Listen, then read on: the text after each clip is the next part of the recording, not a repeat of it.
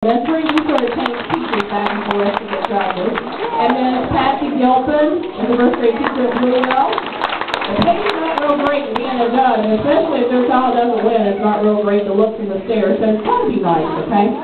All right. Uh, Mrs. Arlene Thomas would like to make an announcement. She's your PTO president and a nice guy sometimes. And, uh, she does work really, really hard to give her a round of applause. And please,